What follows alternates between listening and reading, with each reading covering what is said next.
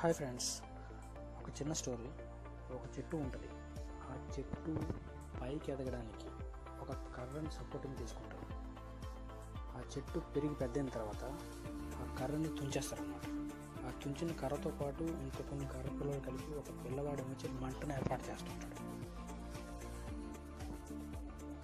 మనకి తనకి ఇంత సపోర్ట్ ఇచ్చిన కర్ర కాలిపోతుందని ఏమాత్రం లేకుండా చెట్టు అలాగే చూస్తూ ఊరుకుంటుంది. అప్పుడు ఆ కుర్రవాడు మంటేస్తాడు. ఆ మంటతో మంటతో పాటు ఆ ఏరియా మొత్తం కాలిపోతుంది. దాంతోపాటు ఆ చెట్టు కూడా కాలిపోతుంది. అంతే. ఎందుకు చెప్పానంటే మన లైఫ్లో కూడా చాలామంది ఉన్నారు ఒక రేంజ్ వెళ్ళిన తర్వాత ఒక సక్సెస్ సాధించిన తర్వాత లేకపోతే మ్యారేజ్ అయిపోయిన తర్వాత తన బెస్ట్ ఫ్రెండ్స్ని గుర్తు చేసుకో ఆ టైంలో వాళ్ళకి వచ్చిన ప్రాబ్లమ్స్ వాళ్ళకి వచ్చిన టెన్షన్ వల్లనో ఇంకా చాలా రీజన్స్ వల్ల ఫ్రెండ్స్ని అసలు మర్చిపోతాడు.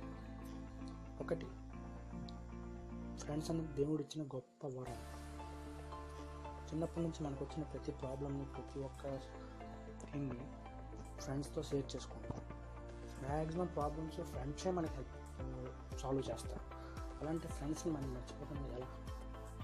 ఒక మహావృక్షం కూడా తను ఎదిగిన తర్వాత ఎంత ఎత్తు ఎదిగినా సరే తన వేరుని గుర్తు చేసుకుంటాను ఎదగడానికి కారణమైన వేరుని గుర్తు చేసుకుంటాను అలాగే మనకి ఎంత హెల్ప్ చేసి మన ఫ్రెండ్స్ మర్చిపోతాం కదా ఫ్రెండ్స్ చివరికి ఒక మాట. మన చుట్టూ ఎంతమంది ఉన్నా ఎన్ని మాటలు ఉంటున్నా మన బెస్ట్ ఫ్రెండ్ నీ మాట కోసం నీ కోసం ఎదురు చూస్తున్నా